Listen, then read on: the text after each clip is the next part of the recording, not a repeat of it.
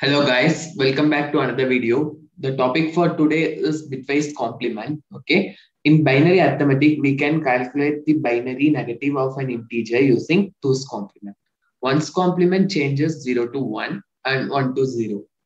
Uh, if we add 1 to the result of 1 complement, uh, we get a 2 complement. Okay. Uh, this this will return the 2's complement output.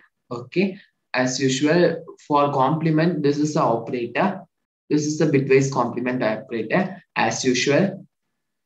We declare class then uh, main method int a is equal to 35 uh, we have to represent in 8 bit binary form.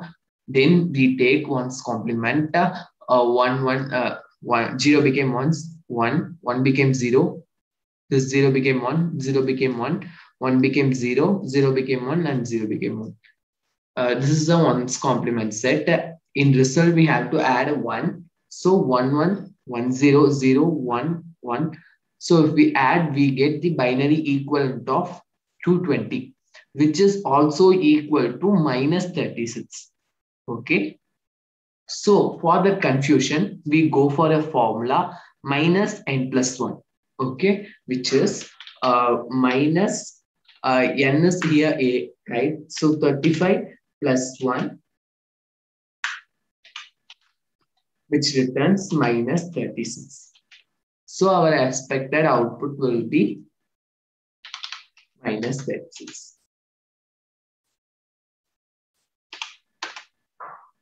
It will return minus 36. Okay. Yeah, that's all for today. Thank you for watching this video. Don't forget to subscribe my channel. I leave the program solution in the description. Kindly check it. Thank you.